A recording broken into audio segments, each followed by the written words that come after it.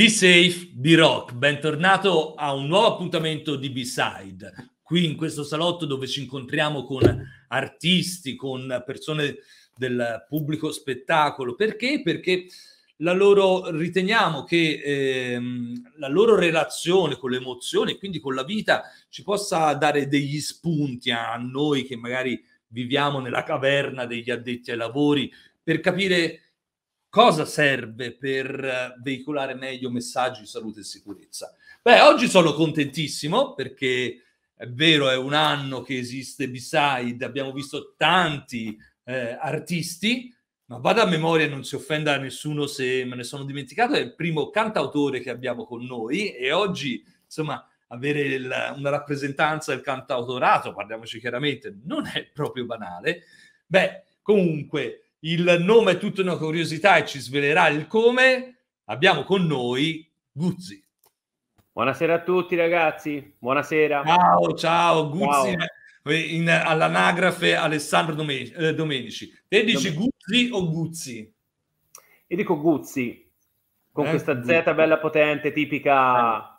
della mia tipica zona della, della, ho, ho, letto che deriva dalla tua prima, la tua prima moto è stata una Guzzi. Certo, come ci montavi una... sopra, con il casco o senza? Ovviamente sempre con il casco, chiaramente. Il casco. Eh? Bene, Anche bene, perché bene. capelli da mettere al vento non ce n'ho, eh? eh, su questo siamo, siamo, molto simili. Beh, Toscano, eh, insomma, come, come, rock and safe, perché del resto noi nasciamo a Firenze. Fra l'altro, eh, la, ti ha, hai avuto hai visto il mondo da un paese incantevole, quale quel, quel paese che è Terra Santa, quindi ha influenzato in qualche modo crescere in un ambiente dove l'arte veramente è, da tutte le parti. Io sinceramente credo di sì. Credo di sì perché vivere in un posto del genere credo che ti porti in qualche maniera a volerti esprimere, no? Che sia con un quadro, che sia con una scultura, che sia con una canzone, no? Infatti ho tantissimi amici che, che sono artisti, fanno appunto quadri, sculture, è una cosa molto sviluppata in questa zona. Bene, te hai preso la via della musica, com'è nata questa passione? Ma la, la passione della musica nasce da, da bambino praticamente, perché in casa mia c'è sempre stata questa, questa forte componente musicale. Mamma e papà hanno sempre cantato alle feste, così anche in casa semplicemente mentre facevano altro. E poi soprattutto erano grandissimi ascoltatori di musica. Mia mamma ha sempre ascoltato più da parte, diciamo, dei cantautori e invece mio padre più quella dei gruppi rock. Quindi ho avuto ah, un po' una commissione particolare. Bene, una buona... Sono, tra l'altro buona... molto legato a Firenze, perché mio papà è sempre stato un grande ascoltatore dei Lit FIBA. Ah, beh. E io quando, durante una gita delle elementari a Firenze, io ho preso in mano una cartina, vidi Via dei Bardi e scappai dalla gita. per andare a vedere dove era la famosa cantina. cantina. Dove... Beh, esatto. FIBA noi li salutiamo perché a rotazione eh, tutta la formazione anni 80, ma anche di quella recente li abbiamo avuti un, quasi tutti. Eh, manca il frontman, caro Piero, noi ti invitiamo tutte le volte, visto che ci sono stati Gianni Maroccolo, Antonio Aiazzi, Ghigo, Simoncia, Sagona che c'è stato fino a poco tempo fa e quindi li lo, invitiamo, manchi solo te, quindi vieni. Beh, quindi insomma una, una bella... Ecco, sai, mi fai venire in mente una cosa, di quanto è importante alla fine l'educazione, a volte anche implicita, in diretta. Io non credo che eh, ti è stato imposta la musica, no, ma diretta, per osmosi il nucleo familiare ti ha dato. E come questo eh, noi lo possiamo ribaltare anche nel mondo della, della buona educazione, della, dell'educazione civica dei ragazzi, perché insomma no, è molto importante l'ambiente dove noi, noi cresciamo. Certo. E quindi sei arrivato che, oh, insomma, a, a, oggi quanti brani hai pubblicato? Allora, con il progetto Guzzi adesso siamo a quota 6 e vedremo magari con l'anno nuovo di racchiudere questi, questi brani dentro un EP, però insomma, per ora navighiamo a vista. Bene, bene, tutto composto, composto da te, quindi... Eh, certo, eh, cioè io, diciamo così, mi occupo più che altro della fase della scrittura. Per quanto invece riguarda la, l'arrangiamento, c'è il mio produttore che si chiama Mirko, e colgo l'occasione per salutarlo, che è parte integrante proprio del progetto. Bene, complimenti. Mirko. E, ehm, e l'ultimo brano, proprio ancora insomma fre- eh, caldo di forno, è Serie, serie A. Eh, dove ci dai uno esatto. spaccato no? de, de la, di, una, di, una, tua domenica, parlacene un po'. Allora, io come avrete potuto immaginare sono un amante della domenica, per me è il giorno più bello della settimana, sono proprio ossessionato, forse anche dovuto al cognome, no? E Serie A è nata in realtà nel periodo del lockdown, quindi la Serie A non c'era. E io mi immaginavo, sentivo il bisogno di una domenica normale, diciamo, quella dove magari c'hai i postumi del sabato sera, dove ti stendi sul divano e ti guardi la tua partita della Serie A. E quindi me la Quando sono immaginata e l'ho rinchiusa in una canzone. Eh, quindi una, una sorta di, come dire, di eh, qualcosa che manca, no? Perché poi era una, esatto, una, era una mancanza, no? diciamo, sicuramente. No? Del, appunto il sabato sera che magari qualcosa hai vissuto, mettiamola, mettiamola così, magari sei tornato sano e salvo a casa, quello di... Certo, di vabbè, quello che eh? sempre. Ah, ecco perché quindi mi ha detto eh, l'ossessione per la domenica, visto che un brano eh, di quanto? Un paio d'anni fa, se non sbaglio, si chiamava proprio Domenica. Certo. Eh?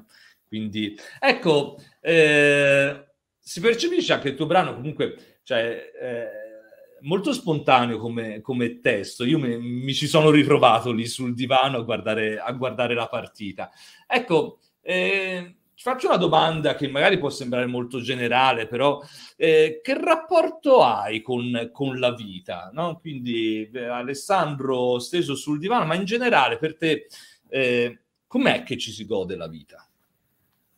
Allora, io penso che ci si, gos- ci si gode, ci si goda la vita ritagliandosi degli spazi per sé, che siano appunto per guardare la, la partita sul divano, che è una cosa molto semplice, oppure per scrivere una canzone, oppure per uh, uscire a piedi e fare una passeggiata. Credo che godersi la vita sia appunto ritagliarsi uno spazio per le proprie necessità Mm. E quindi il contrario cosa vuol dire? Che abbiamo poco tempo per noi o per questi momenti così? Come scusa? Dicevo il contrario, cioè questa è la tua visione di vita, no? Mi pare di capire di ritagliarsi spazi che sono per te, per, ehm, dalla cosa più futile può essere la domenica sul divano alla musica, eccetera. E quindi il contrario cosa vuol dire? Che viviamo una vita troppo frenetica? Viviamo sicuramente una vita troppo frenetica, appunto dovuto anche al, um, ai social, secondo me, come stavamo dicendo prima, no? Che ci portano sempre a volere qualcosa in più, a volere magari accanto una persona che non, non abbiamo, degli amici che non sono con noi in quel momento lì, invece di godersi magari gli amici che ci sono, che sono tanto importanti quanto quelli che magari sono a chilometri di distanza, no? Quindi e poi soprattutto qui ed ora Esatto. E poi soprattutto credo che a volte si voglia, si pensi, diciamo, di godersi di più la vita se si spinge al massimo, si spinge a, a, sempre all'eccesso. Invece la libertà, godersi la vita, secondo me, è proprio togliere, togliere pesantezza, no? Sì, sì, sono pienamente d'accordo e e questi sono temi che comunque quando parliamo di salute, in parte più, più di salute in questo caso e di sicurezza, che eh, oggi un po' la, la, società ci impone ritmi diversi, che sia poi sul lavoro, il, i social, ambire sempre a qualcosa che non hai, è sempre più verde l'erba del vicino. Probabilmente concordo sul fatto che se riuscissimo a ad apprezzare quello che abbiamo, perché poi alla fine tutti abbiamo molto, e a sfrondare un po' di frivolezze, magari vivremmo meno concitatamente e con più soddisfazione. Sono d'accordo, pienamente d'accordo. Bene, bene. Fra l'altro, appunto, nel pre-trasmissione parlavamo eh, con Alessandro che eh, te hai 30 anni e comunque sei molto analogico, eh, quindi pre- prediligi la vita analogica sì. digitale. E, e, questo cosa, appunto, in qualche modo lo abbiamo già detto, il rischio di, di essere troppo immersi in una vita digitale, dal tuo punto di vista qual è? Un po' ce lo siamo detti Ma anche il adesso. rischio è che si, si creino delle barriere invece che abbattersi, no? In che senso? Spesso ci troviamo in mezzo alle persone, anche magari a una tavolinata, no? E invece di essere tutti insieme, parlare o comunque sia condividere un momento, ognuno è lì col suo telefono in mano che cerca quello che non può avere in quel momento lì. È una cosa, secondo me, di una tristezza infinita. Esatto, esatto. Sì, sì, sì, Siamo rinchiusi. Molto deprimente. Molto deprimente, molto deprimente. Siamo rinchiusi dietro ad uno schermo quando invece siamo, dovremmo essere liberi, no? È vero, è vero. Mi fa venire in mente una cosa che ci ho già riflettuto in passato, eh, quando andavamo ai concerti, che tante volte ormai siamo abituati a vivere la vita in uno schermo che magari, nonostante magari tu abbia una buona visibilità, è più facile guardi il maxi schermo che l'artista che sta suonando. Esatto. Eh, come se veramente eh, avessimo... E, e comunque la, eh, la, realtà, la realtà delle cose, cioè noi abbiamo una dipendenza dallo schermo che però ci distacca da una dimensione reale eh, che poi è quel momento con l'amico, con la persona cara. A volte io dico, eh, passeggiamo per le strade, non vediamo nemmeno cosa c'è attorno a noi, per, per, so, non lo so, stare su WhatsApp, Facebook o qualsiasi altro, altro social. E, e, magari sei andato in gita, che ne so, in una città che, che, che vorresti visitare. Quindi eh, rimaniamo un po' più attaccati alla realtà. Non che il digitale sia una cosa brutta, però dosarlo bene. No, assolutamente. Sia... È l'abuso che è una cosa brutta. Ma come, l'abuso come... del digitale come di tutto il resto, eh? Ogni abuso, secondo me, è una cosa brutta. Concordo, concordo, che non è difficile che un qualcosa di materiale, la tecnologia, ma possiamo fare riferimento a altro, sia buono o cattivo, è l'uso che ne facciamo che poi eh, ne definisce, ne determina anche eh, la, sua, la, sua, qualità. Quindi eh, questo è il messaggio che, che, ci portiamo a casa. Beh, eh, andiamo verso la conclusione, tornando alla tua vita artistica. Eh, ci sono progetti in vista per, per il futuro? Vi, Ma guarda, io... Il singolo forse... Ti vedremo forse al, dal vivo da qualche parte? Ma io me lo auguro, sinceramente. Me lo auguro. Un po' di progetti ci sono in ballo, però io ho capito una cosa in questi anni di musica, che eh, finché le cose non sono ben definite è bene non parlarne, mm, okay. perché dopo non si realizzano. Non capisco come sia possibile però funziona sempre così. Quindi io Beh, vi dico allora... solamente che appena avrò notizie più definite, vi dirò sicuramente qualcosa. Possiamo rima- rima- rimanere così che ci stai lavorando. Eh? Sì, esatto. Qualche, qualche, cosa, qualche novità ci annuncerai presto. Bene, bene. Esatto. Cabala non vogliamo romperla pro- eh, proprio oggi.